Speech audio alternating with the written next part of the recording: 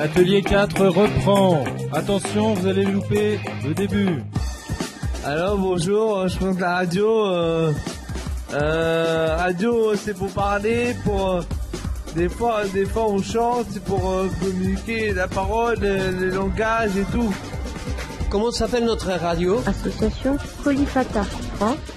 Salut les colifatos, les colifatas, les auditeurs, les auditrices, les... Merde, je recommence. D'accord. Sommes-nous toutes et tous un peu timbrés? Je réponds oui, évidemment, et pas particulièrement parce que je suis folle, juste parce que j'ai ouvert le dictionnaire et que la définition de la folie, c'est comme les horoscopes, en fait, tout le monde peut s'y retrouver. La folie comme trouble mental. Alors, ça, c'est moi au réveil. La folie comme passion sans limite, ça, c'est moi devant mon pain au raisin. La folie comme absence de raison, ça, c'est moi sur Tinder. Et puis après, j'allume ma radio et là, je passe de ma folie à moi à la folie des autres. Orgueil des stars, avarice des hyper riches, envie, paresse, luxure, bulle informationnelle. Si on n'est pas timbré, expliquez-moi pourquoi on achète des pantalons trop serrés fabriqués par des Pourquoi on ira fêter Noël en avion en pleine crise climatique? Allez, c'est pas comme s'il y avait la folie des autres et notre folie à nous. C'est plutôt un continuum avec plein de dérapages possibles. Enfin, je dis ça, mais c'est probablement le biais de confirmation qui parle, à moins que ce soit la preuve anecdotique ou bien la loi des séries, je sais plus. Sur Wikipédia, on trouve au moins 200 biais cognitifs différents, 200 formes de folie acceptables qui nous font prendre des vessies pour des lanternes et des corrélations pour des causalités. Et le pire, c'est que tout ce que je viens de décrire, c'est notre comportement sain, efficace, productif, issu de notre évolution. C'est ces absurdités qui nous ont permis de survivre et même d'inventer un concept aussi dingue que la nation des Lumières. Alors je dis pas qu'on avance totalement dans le noir, mais quand même, soyons raisonnables, soyons sages. L'irrationalité, on fera pas contre, mieux vaut faire avec. Et Maya, aujourd'hui, tu reçois Alfredo Oliveira. Bonjour Alfredo Oliveira. Bonjour. Vous êtes psychologue, vous nous venez d'Argentine, mais vous vivez en France depuis 2012. En Argentine, il y a un psy pour 500 habitants. En France, il y en a un pour 770 habitants. C'est beaucoup. Comment est-ce que vous expliquez que ces deux pays soient aussi obsédés par la question de la santé mentale? Obsédé, déjà, c'est un mot. Aïe, fort. On a commencé, c'est chaud. Et moi, moi aussi, euh, quand j'ai eu 4 ans, j'ai eu ma, eu ma première euh, séance en psychanalyse. 4 ans. Séance. ouais. Ça veut dire que tout ça s'inscrit euh, dans, dans la culture, de, surtout à Buenos Aires. Surtout à Buenos Aires. Et pourquoi? Et, Et puis pourquoi cette passerelle entre la France et l'Argentine en plus? Il y a différents courants, non? Et le, le premier euh, psychanalyste, ils sont arrivés dans les années 40. Pich- Enrique Pichon-Rivière, que lui, lui il, a, il, a, il a fait un travail assez très important autour de, des groupes.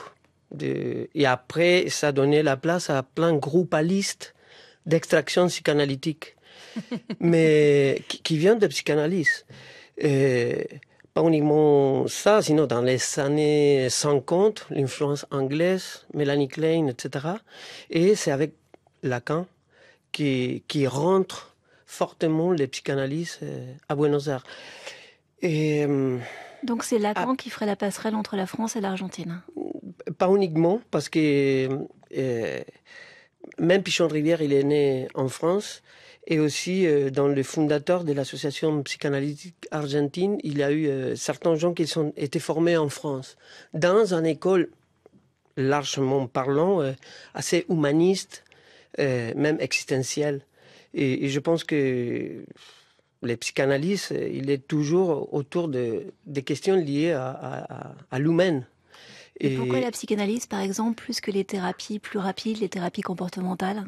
Ça, ça correspond à- aussi à un modèle, euh, d'une façon plus large, économique aussi, non? La question com- comportementaliste, et il cherche une, une réponse immédiate et par rapport, je parle très, c'est un peu grotesque, hein, mais, mais une demande de production et d'effic- de- d'efficacité.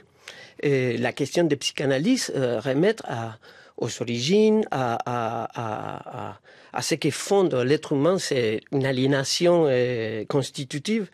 Et, C'est et- plus long comme travail, donc moins efficace, moins productif pour le, pour le travailleur, pour, pour le Mais- producteur mais- que nous sommes tous. Mais s'inscrit historiquement en Argentine par rapport aux immigrants, je crois. Et nous avons reçu un courant euh, en 1890 et après la Première Guerre mondiale des immigrants qui viennent de, principalement d'Espagne et d'Italie. Et il y a plein d'histoires euh, liées au trauma, liées à, à Ah, les origines. Il paraît qu'en France, on est plus malheureux que dans les autres pays. Est-ce que ça peut expliquer notre passion pour la psychanalyse? Peut-être. Est-ce qu'on est plus fou qu'ailleurs en France? Donnez, Donnez-nous votre avis de spécialiste. Non, non, non, je crois pas. Si- mais parce que bah, ça veut dire quoi la folie, non? Et, Non, ici en France, les choses ils sont assez bien cadrées. Vous êtes Et- le fondateur de Radio Colifata, donc c'est. Est-ce que vous pourriez nous raconter un petit peu ce que c'est? C'est une radio qui a été créée euh, dans, en 1991 à Buenos Aires. Et c'est une radio qui émet en direct depuis un hôpital psychiatrique.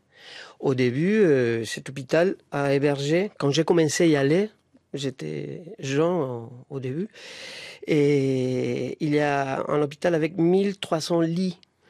Et plus de la moitié euh, habite là-bas des- depuis plus de dix ans. Ça veut dire que la- les, les gros de la population, ils ont perdu vraiment le- la connexion avec le monde extérieur Le lien. et les liens. Et la radio a été créée. On a, je pense que euh, j'ai écouté le, votre reportage avant.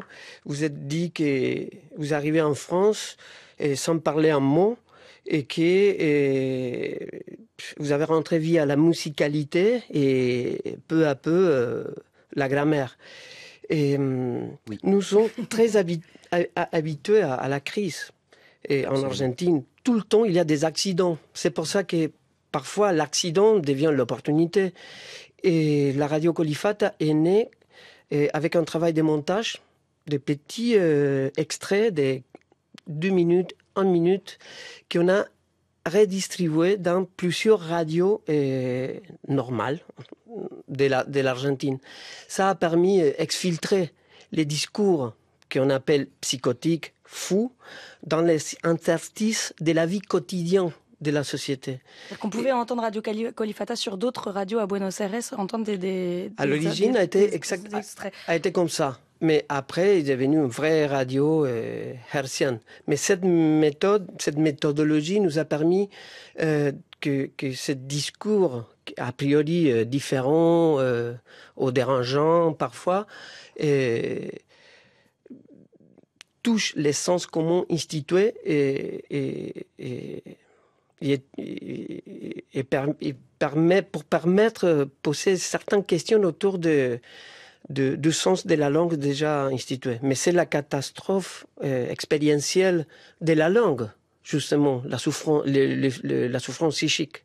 On a créé une passerelle, une présence quotidienne ailleurs d'un discours que les gens euh, qui a été catalogué de malsains, euh, malades, etc. Mais ce discours a produit des effets, si vous voulez, critiques, sans aller chercher l'effet critique. Et, et tout ça nous a permis de tisser un lien de plus en plus solide et fort et a accompagné à plusieurs patients à sortir de l'hospitalisation et à récupérer une vie quotidienne assez bien. Et vous dites que la plus grande menace sur ce lien, c'est le néolibéralisme. Je pense que non. La, la, la, la, menace, c'est quand n'existait pas la place pour vous. Euh, personne t'attend, même ni la langue en soi-même.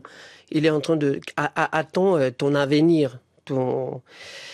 Après, le néolibéralisme, nous on a développé aussi un programme de télévision qui s'appelle Colifata Filosa, autour de la philosophie. Euh, et, on, et on a reçu un invité qui s'appelle Pierre Dardot, un philosophe euh, français, qui a écrit beaucoup autour du néolibéralisme. Et, on a travaillé avec euh, les patients et aussi les étudiants de philosophie de l'Université de Buenos Aires pour euh, décortiquer tous ces types de, concepts. On a travaillé autour de l'idée de commun. Et, et grâce à Pierre Dardot et aussi à les patients, on a interpellé un peu ce qu'on appelle le néo- néolibéralisme. Nahuel Pérez Biscayer, vous connaissiez, vous, Colifata C'est connu euh, à Buenos Aires? Oui, oui, c'est très connu. Bah, c'est très connu. Euh, à Buenos Aires, oui. Euh, Peut-être que c'est dans un milieu, euh, oui, qui s'intéresse. Dont les oui, mamans oui. sont psy, mais. euh, les mamans sont- Non, mais j'avais, j'avais plein de potes en fait qui faisaient aussi des, qui donnaient des cours de théâtre euh, à, l'hôpital Borda et voilà. Oui, oui. Bah, dans le milieu de l'art, euh, oui, quand même, c'est quelque chose. Mhm. Même au-delà de ça. Ouais.